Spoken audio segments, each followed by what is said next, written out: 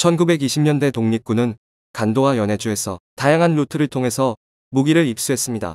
물론 주력 개인화기는 소총이었습니다.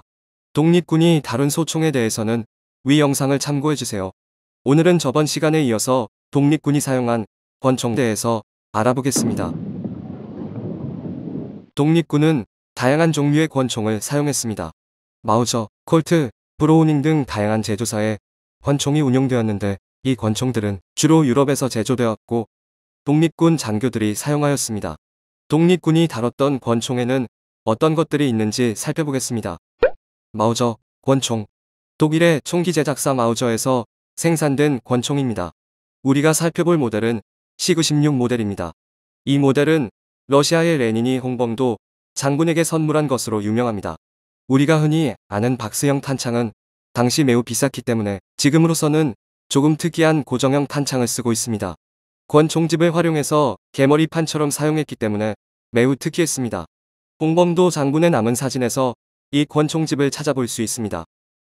다음은 마우저의 M1910 모델입니다. 영화 암살에서 안호근이 사용한 권총도 M1910의 개량형인 M1914 모델입니다. 실제로 의열단 등 다양한 항의무장단체에서 사용한 모델로 알려져 있습니다.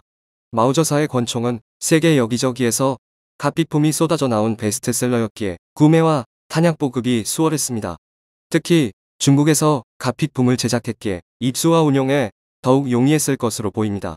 1928년 7월 일제보고서에서는 정의부에 소속된 병사중 단수는 마우저 권총을 사용했다고 합니다. 또 참의부와 신민부에서도 마우저를 운영했습니다. 1895년 존 브라우닝이 설계하고 개발된 FN M1900은 권총은 안중근 의사가 사용한 권총으로 유명합니다. 벨기에에서 생산된 이 총은 73만 정이 생산되었고 전 세계에 팔려나갔습니다. 안중근 의사가 거사를 준비하던 연해주에서도 구할 수 있었죠. 1909년 10월 26일 하얼빈역에서 안중근 의사는 두 정의 브라우닝 M1900 권총으로 일본 제국의 이토 히로부미를 저격했고 대한 독립의 당위성을 세계만 방에 알렸습니다. 브라우닝 권총은 하얼빈 의교 이후에도 독립군에게 꾸준히 사용되었습니다. 1924년 3월 일제의 정보 보고에 따르면 대한통의부 5중대 120명은 브라우닝 권총 80정을 운영하고 있었습니다. 모신나강 소총의 사례와 같이 벨기에의 나강 형제가 만든 나강 M1895는 러시아에서 많이 쓰였습니다. 러시아 제국은 모신나강 소총의 라이센스에서 문제가 생기자 라이센스를 대가로 나강 권총을 육군 제식 권총으로 채택합니다. 나강 M1895 권총은 리볼버 권총으로 러시아 제국에서는 툴라 조병창과 유럽 공장에서 50만 정 이상 생산할 정도로 많은 생산수를 자랑했습니다. 나강 권총은 세계 2차 대전은 물론 현재의 우크라이나 전쟁에서도 사용되고 있습니다. 이렇게 생산된 수많은 나강 권총은 러시아가 혼란한 틈에 독립군에게도 흘러들어갔습니다. 만주에서 활동한 독립군들이 장비한 권총에는 이 나강 권총도 포함되어 있을 것으로 추정됩니다. 기록상에는 7연발 소총으로 나타나는데 이 기록들을 볼 때 독립군들이 나강 권총을 운영한 것은 확실해 보입니다. 대한국민회는 7연발 권총을 50정, 대한군정선은 25정, 독군부는 7정 운용했습니다. 또 1921년 활동한 광복단은 세계 지대 모두 합쳐 70여 정의 7연발 권총을 운용했습니다. 특이한 외형과 작동 방식을 가진 독일의 권총인 루거 P8도 독립군에 의해 운용되었습니다. 독일의 게오르크 루거가 1898년에 설계한 권총입니다. 1908년에 독일 육군에 정식으로 채택되면서 대량으로 사용되었고 1차 대전 당시에 참호전에서 사용되며 유명해진 권총입니다.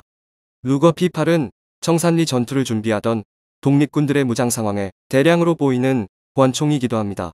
당시 대한국민회는 30정을, 독군부는 6정을 운영했습니다.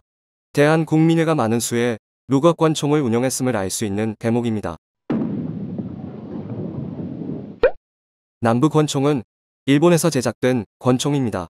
일본인 난부 기지로가 설계에 참여해서 이러한 이름이 붙었습니다. 일본군의 제식권총으로 채택되지는 않았지만 도쿄 포병 공창에서 생산되었고 1904년 러일 전쟁에서도 사용되었습니다.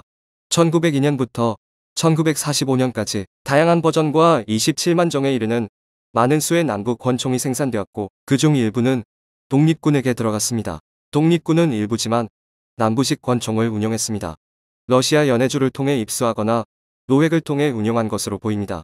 1920년 당시 대한군 정서는 8정, 대한국민회는 10정, 독군부는 5정을 사용했습니다. 이 권총들은 청산리 전투에 활용되었을 것으로 보입니다. 오늘은 독립군이 사용한 소총에 이어 권총에 대해 알아보았습니다. 독립군들은 중국과 연해주를 통해 구입하거나 노획을 통해 권총을 조달했습니다. 이 무기들은 본격적으로 독립군이 형성되던 1920년대부터 쓰여져 독립을 달성하는 1945년까지 독립군들의 든든한 무력이 되어주었습니다. 다음에는 독립군이 사용한 기관총과 수류탄에 대해 알아보도록 하겠습니다.